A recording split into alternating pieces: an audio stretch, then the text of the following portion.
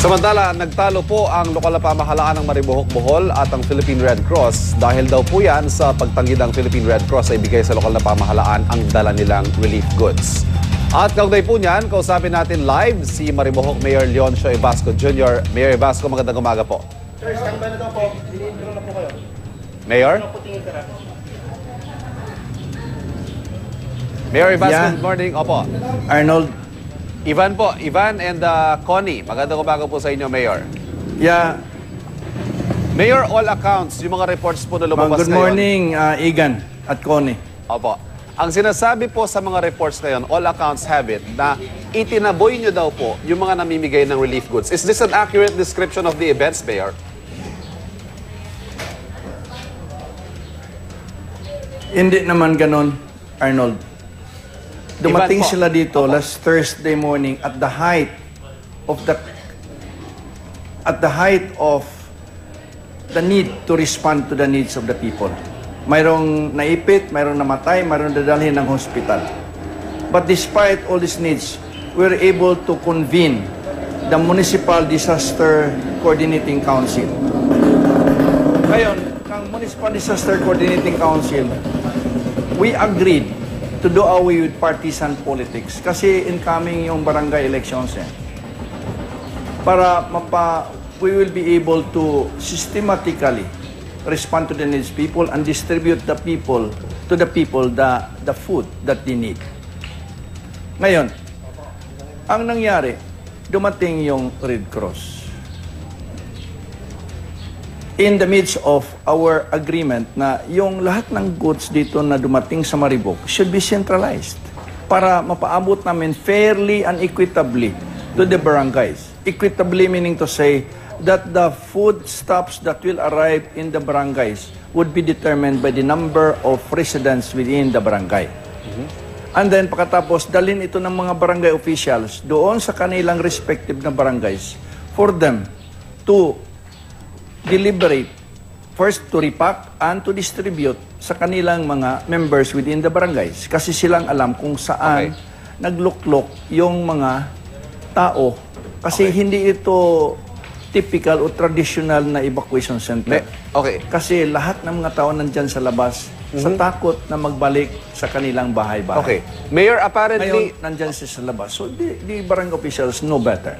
So, I said, you give the your goods to the center for us to distribute this effectively to the barangays through the barangay uh, officials. opo. They And- insisted that they will have to distribute.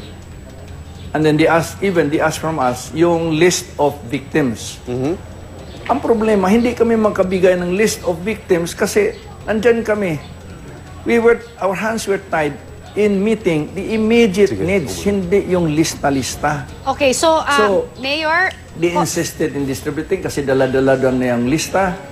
Ngayon, nagpila yung mga tao. Nagkagulo yung tao. In fact, yung mga matanda, hindi na, makapi, hindi na makakuha dahil yung mga malakas, yung younger ones, were able to get more than what they are supposed to get. alright, ah, Mayor, klaro po Ang yun, ano? Si nangyari- Connie Season po ito, sir. So, sabi ko sa Mayor? kanila, if you cannot abide by our rules, you get out of this place para hindi kami magkagulo dito. Mayor, si Connie So, Season po ito, umalis. sir. The following day, dumating si Mayor? Gordon, Mayor, si Connie Season po He ito. told May me tanong na- lang I po told ako, him, no? First, I told him what happened the day before. Sabi niya, we are a political mayor. We are political. We do it on our own. Sabi ko, bakit ganun?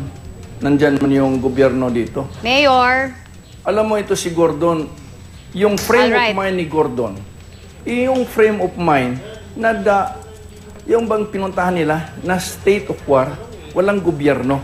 Pero dito may gobyerno eh, may local government. Apo. Disaster ito. Mayor Why Evasco, will he sir? not coordinate with us? The local government states that Mayor in times Evasco. emergency, the local government, through the mayor, will have to stand Alright. firm in delivering the goods to the people. Okay. So he should have coordinated us.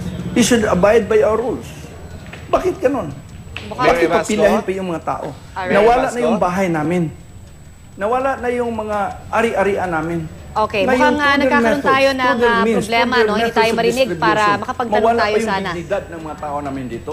I am just protecting the dignity of our people here. Hindi magiging mendicants ang mga tao namin dito. Hindi magiging pulubi yung mga tao namin dito.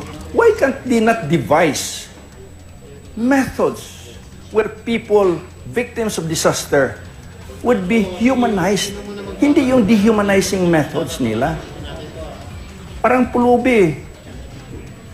So hanggang ngayon, All right. Mukhang ah, nagkakaproblema tayo doon sa ating ah, komunikasyon kay Mayor Mariboc, Oo. ah, Bohol Mayor Leoncio Vasco. We would have wanted to ask questions Expound ano pa, kasi oo. sa ngayon eh mukhang lumalabas na talagang pinigilan niya at pinaninindigan niya yung kanilang rules daw Yes, oo. sa pamimigay ng ah, At relief syempre, goods. yan ho yung ah, kumbaga side ni ah, Mayor, Mm. no? Although ang sinasabi naman ng Red Cross dyan, eh, labag sa batas. Ang pagtutol nitong si Mayor Evasco. Pero moving forward, uh, na-quote naman si Mayor na sinasabi niya open naman siya na makipagkompromiso sa Red Cross. At yun naman ang mas importante Yes. dito, Connie, eh, yung makarating yung tulong sa mga dapat marating.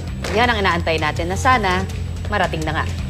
Samantala, hindi na raw ah, magsasalita pa ang Philippine Red Cross tungkol po sa issue. Ang kailangan daw nilang pagtuunan ng pansin ay ang agarang paghahatid naman ng tulong para sa mga biktima ng lindol.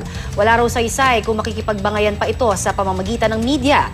At sa kabila ho ng nangyari, patuloy raw na tutulong ang Philippine Red Cross sa mga nasalanta ng lindol.